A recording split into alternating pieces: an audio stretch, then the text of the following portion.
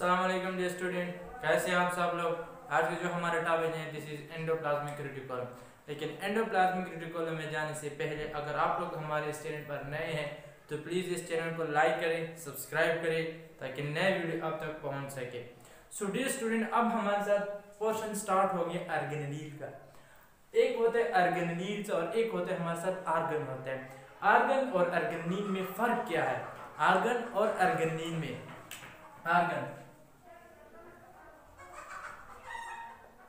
Argon हमारे साथ वो होता है जिसको हम ह्यूमन नेकेड आई से देख सकते हैं। इसको हम क्या कहते हैं आर्गन का नाम देते देते हैं। Organ mean just like heart human heart इसको हम देख सकते हैं। हैंड हीड ईयर आईज ये जितनी भी है, ये हमारे साथ क्या है? आर्गन है। क्योंकि हम इसको अपने आँखों से देख सकते हैं। इसका हम नाम देते हैं कि हमारे साथ क्या होता है? आर्गन है। और सेकंड हमारे साथ होता है अर्गेनील, कि अर्गेनील किसे कहते हैं? अर्गेनील हमारे साथ वो होता है जो हमारे साथ क्या चीज़ होता है? स्मॉल होता है। Due to small in size हम अपने आँखों से नहीं देख सकते, इसको हम नाम देते हैं कि हमारे साथ क्या होता है? अर्गेनील होते हैं। और एक बार हम किस चीज़ की मदद से देखते हैं? थ्रू माइक्रोस्कोप के ज़रिए जब हम किसी चीज़ को देखते हैं, वो आर्गेनील कहते हैं। जस्ट लाइक एंडोप्लाज्मिक रेटिकुलम जो कि हमारे साथ है, ये एक आर्गेनील है, आर्गन नहीं है। क्योंकि ये हम अपनी ह्यूमन निकेडाई से नहीं देख सकते। इसको देखने के लिए हम, हमारे साथ माइक्रोस्कोप की ज़रूरत होती है। जो चीज़ हम माइक्रोस्कोप से देखते हैं थ्रू माइक्रोस्कोप उसको हम नाम दे थ्रू माइक्रोस्कोप इसको हम नाम देते हैं कि हमारे साथ क्या चीज़ होता है अर्गेनील होता है अब ये जो हमारे साथ है एंडोप्लाज्मिक रेटिकुलम एंडोप्लाज्मिक रेटिकुलम हमारे साथ एक अर्गेनील है एंडोप्लाज्मिक रेटिकुलम हमारे साथ क्या है एक अर्गेनील है देखिए, अब अगर ये हमारे साथ क्या होता है, एक साइटोप्लाज्म होता है so endoplasmic this is a nucleus endoplasmic reticulum हमारे साथ एक नियरेस्ट पार्ट होता है। किस चीज़ के साथ? Endoplasmic reticulum is nearest part to the nucleus endoplasmic reticulum जो कि हमारे पास होता है, ये एक नियरेस्ट पार्ट होता है। न्यूक्लियस के साथ ये नियरेस्ट पार्ट होता है एंडोप्लाज्मिक रेटिकुलम अब ये जो एंडोप्लाज्मिक रेटिकुलम होता है एंडोप्लाज्मिक रेटिकुलम ये हमारे साथ किस चीज़ में होता है? From nuclear membrane to the cell membrane from nuclear membrane to nuclear membrane to cell membrane from nuclear membrane to cell membrane तक के हमारे साथ क्या होता है? एंडोप्लाज्मिक रेटिकुलम है हमारे साथ होता है। अब एंडोप्लाज्मिक रेटिकुलम में हमारे साथ क्या होता है? नेटवर्क ऑफ़ मेम्ब्रेन होता है। This is a network tubular network of membrane होता है। Endoplasmic reticulum is a network of network of membrane ये हमारे साथ क्या होता है? कि नेटवर्क ऑफ़ मेम्ब्रेन होता है। किस तरह होता है? अब यहाँ पर देख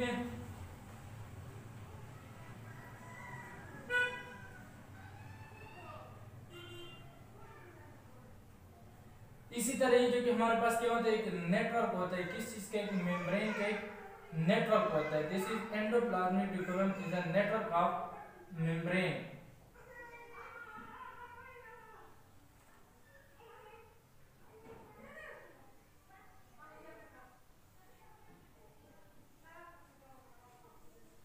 endoplasmic reticulum is a network of membrane from nuclear membrane to the cell membrane. तक ये हमेशा क्या होता है? होता है प्रेजेंट होता है। अब एंडोप्लाज्मिक रेटिकुलम डिस्कवरी है एंडोप्लाज्मिक रेटिकुलम की, कि एंडोप्लाज्मिक रेटिकुलम को किसने डिस्कवर किया? फ़र्स्ट ऑफ़ ऑल जो नाम है, एक साइंटिस्ट है हमारे साथ, जिसका नाम है ग्रीनियर ग्रीनियर हमारे साथ क्या है? एक साइंटिस्ट है। यहाँ पर हम किस चीज़ को डिस्कस करें? डिस्कवरी ग्रीनियर हमारे साथ एक साइंटिस्ट है, जिसने एंडोप्लाज्मिक रेटिकुलम को फ़र्स्ट ऑब्ज़र्व किया first observe endoplasmic reticulum Garnier एक साइंटिस्ट है, जिसने फ़र्स्ट एंडोप्लाज्मिक रेटिकुलम को ऑब्ज़र्व किया है और इसने इसको नाम दिया this is called ergastoplasm ergastoplasm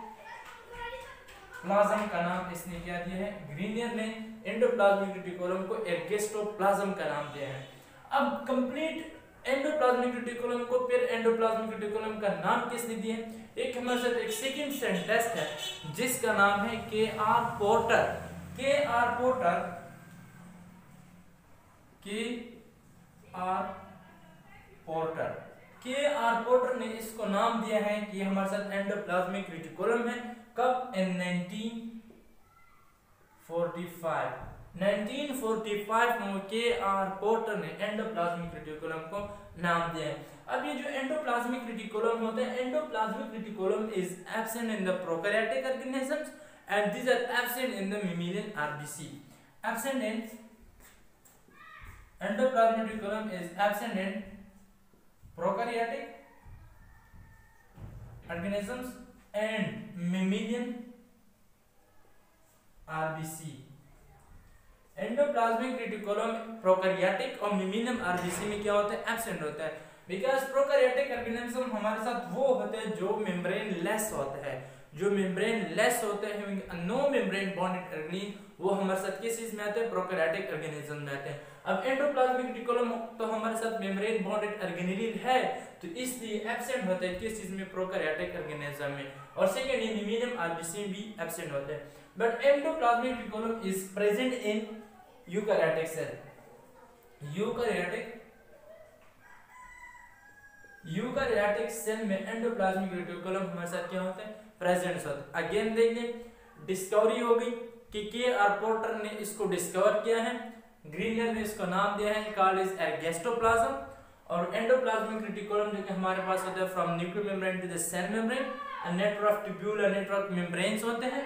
endoplasmic reticulum जो हमारे पास होता है, ये नियरेस्ट पार्ट है। किस चीज़ के साथ? Nearest part to the nucleus के साथ ये हमारे साथ क्या है, एक नियरेस्ट पार्ट है एंडोप्लाज्मिक रेटिकुलम अब हमारे साथ है chemical composition of endoplasmic reticulum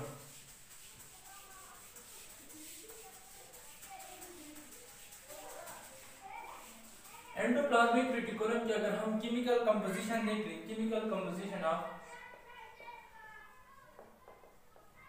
chemical composition अगर केमिकल कंपोजिशन हम एंडोप्लाज्मिक रेटिकुलम को देख लें तो उसमें हमारे साथ क्या चीज़ होती है? एक प्रोटीन होते हैं और एक हमारे साथ क्या होते हैं? लिपिड्स होते हैं।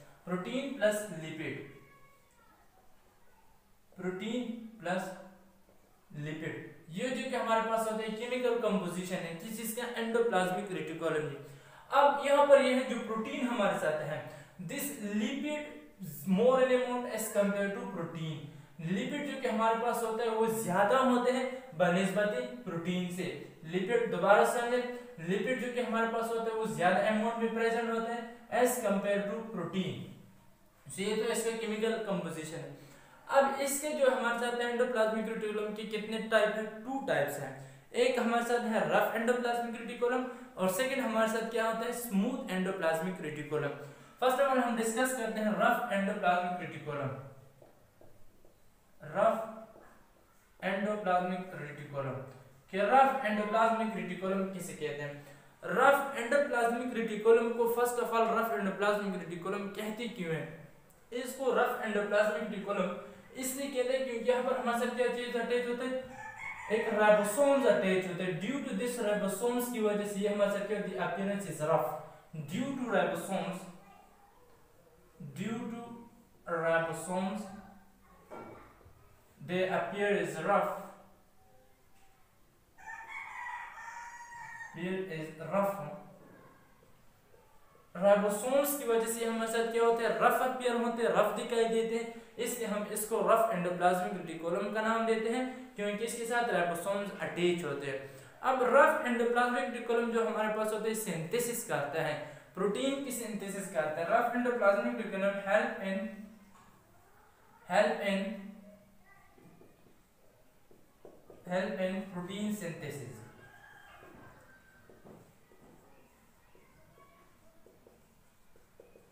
rough endoplasmic reticulum हमारे साथ किस चीज़ की सिंथेसिस करता है? प्रोटीन की सिंथेसिस करता है। अब क्वेश्चन ये है कि रफ एंडोप्लाज्मिक रेटिकुलम आया खुद प्रोटीन की सिंथेसिस करते हैं या कोई और चीज़ इसके लिए प्रोटीन की सिंथेसिस करता है। रफ एंडोप्लाज्मिक रेटिकुलम खुद बहुत ये प्रोटीन की सिंथेसिस नहीं कर सकता जब तक इसके साथ राइबोसोम्स ना हो। क्योंकि इस राइबोसोम्स की वजह से किस चीज़ की सिंथेसिस करता है? प्रोटीन की सिंथेसिस ये करता है due to ribosome protein synthesis due to the help of ribosome. Ribosomes की हेल्प की वजह से किस चीज़ की सिंथेसिस करता है? प्रोटीन की सिंथेसिस करता है। अब सेकंड हमारे साथ है smooth endoplasmic reticulum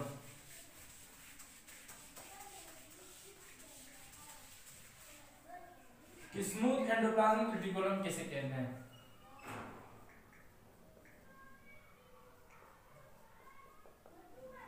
smooth endoplasmic reticulum हमारे साथ किसे कहते हैं? स्मूथ एंडोप्लाज्मिक रेटिकुलम को स्मूथ एंडोप्लाज्मिक रेटिकुलम इसलिए कहते हैं क्योंकि इसके साथ कोई भी राइबोसोम अटैच नहीं होता। Having no ribosome is attached, so called is smooth endoplasmic reticulum. अब यहाँ पर अगर हम देखें तो यहाँ पर कोई भी राइबोसोम अटैच नहीं है इसके साथ, इस तरह इसको नाम देते हैं कि हमारे साथ क्या होते हैं? स्मूथ एंडोप्लाज्मिक रेटिकुलम होते हैं। Due to the absence of ribosome, attachment of ribosomes this is called the smooth endoplasmic reticulum अब ये जो स्मूथ एंडोप्लाज्मिक रेटिकुलम होता है, इसकी भी क्या कर देते हैं? फ़ंक्शन है। Smooth endoplasmic reticulum can help in the lipid lipid synthesis में भी हेल्प कर देते हैं। बाकी जितने भी हार्मोन होते हैं हार्मोन की सिंथेसिस भी स्मूथ एंडोप्लाज्मिक रेटिकुलम में हेल्प करते हैं? Just like the protesterone testosterone aldosterone progesterone ये जितनी हार्मोन है इन सब की सिंथेसिस करता है कौन? स्मूथ एंडोप्लाज्मिक रेटिकुलम इसकी सिंथेसिस करता है। और smooth endoplasmic reticulum synthesis lipid hormone की सिंथेसिस के साथ साथ ये क्या कर देता है? कम्युनिकेशन भी करता है। कम्युनिकेशन भी करता है। और सिक third transformation of nerve impulse impulse की भी क्या करते हैं? ट्रांसफ़र करते हैं। ट्रांसफॉर्मेशन भी करते हैं। ट्रांसमिशन या ट्रांसफॉर्मेशन ये भी करते हैं। ट्रांसमिशन ये हमारे साथ कौन करता है? स्मूथ एंडोप्लाज्मिक रेटिकुलम हमारे साथ ट्रांसमिशन भी क्या करता है? हेल्प करते हैं।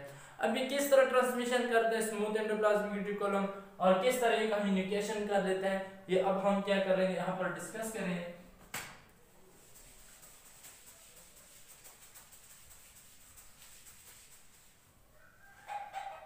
सो so, एक हमारे साथ क्या होता है? टी टिब्यूल्स टी टिब्यूल्स क्या चीज़ हमारे साथ प्रेजेंट होता है? टी टिब्यूल्स हमारे साथ प्रेजेंट होता है। अब ये जो टी टिब्यूल्स होता है इसका फ़ंक्शन क्या होता है? टी टिब्यूल्स का फ़ंक्शन ये होता है कि हमारे साथ नर्व इंपल्स के जितने भी इंपल्स होते हैं नर्व इंपल्स उसको ट्रांसमिट करता है। ट्रांसमिशन में क्या करते हैं? टी टिब्यूल्स हेल्प करते हैं। अब सेकेंड वन होते हैं sarcoplasmic plasmic reticulum sarcoplasmic reticulum ये एंडोप्लाज्मिक रेटिकुलम का ही नाम है, लेकिन ये किस चीज़ में? इन केस ऑफ़ मसल्स जब हम मसल में एंडोप्लाज्मिक रेटिकुलम को पढ़ते हैं तो फिर हम इसको नाम देते हैं कि हमारे साथ क्या होते हैं? सर्कोप्लाज्मिक रेटिकुलम होते हैं। अब इसके क्या फ़ंक्शन होते हैं सर्कोप्लाज्मिक रेटिकुलम का? यहाँ पर ये क्या कर लेते हैं? कैल्शियम आयन कैल्शियम आयन को ये क्या कर लेते हैं? रिलीज़ कर लेते हैं। और इस रिलीजिंग ऑफ़ कैल्शियम आयन की वजह से जो मसल्स होते हैं साथ क्या होते हैं? कंट्रैक्ट्स एंड रिलैक्स होते हैं। सेम इसे क्या होते हैं? फ़ंक्शन होते हैं। अब अगर होल केमिकल कंपोजिशन अगर हम एंडोप्लाज्मिक रेटिकुलम को देखकर देख लें तो इसमें हमारे साथ क्या चीज़ आते हैं? टीटीब्यूज आते हैं इसमें सिस्टरने भी आते हैं, इसमें विजिकल्स भी आते हैं। अब हम इसके बारे में पढ़ेंगे कि सिस्टरने किसे कहते हैं? विजिकल किसे कहते हैं? एंटीब्यूज किसे कहते हैं?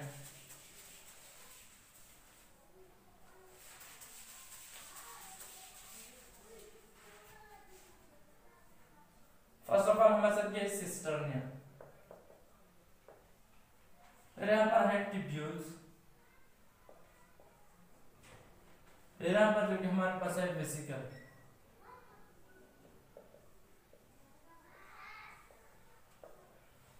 फ़र्स्ट ऑफ़ ऑल कि सिस्टर ने किसे कहते हैं सिस्टर ने जो कि हमारे पास होते हैं सेक लाइक स्ट्रक्चर होते हैं। सेक लाइक स्ट्रक्चर सिस्टर ने सेक लाइक स्ट्रक्चर सिस्टर हमारे साथ एक सेक लाइक स्ट्रक्चर होते हैं सिस्टर और दिस सिस्टर इज़ अनब्रांच्ड ये हमारे साथ क्या चीज़ होते हैं? अनब्रांच्ड होते हैं। अनब्रांच्ड सेक लाइक स्ट्रक्चर होते हैं अनब्रांच्ड होते हैं। Having a ribosome, having a ribosome is attached a ribosomes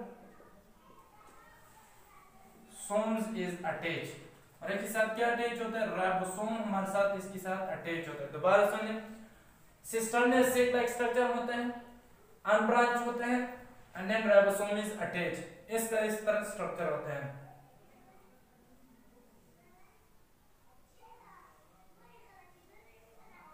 so unbranched होते हैं sac like structure and having ribosomes is attach और इसके साथ क्या अटैच होता है? राइबोसोम इसके साथ अटैच होते हैं। इसको हम नाम देते हैं हमारे साथ क्या होते हैं? सिस्टर नहीं होते। अब है वेसिकल ट्यूब्यूल सॉरी ट्यूब्यूल्स के ट्यूब्यूल्स किसे कहते हैं? ट्यूब्यूल्स जो कि हमारे पास होता है दिस इज़ ब्रांच्ड ब्रांच्ड होते हैं। Having no ribosome is attached having no ribosome is attached ribosomes is attached इसके साथ कोई भी राइबोसोम्स हमारे साथ अटैच नहीं होता। ब्रांच होता है। Having no ribosome is attach किस तरह, अब ये देखें।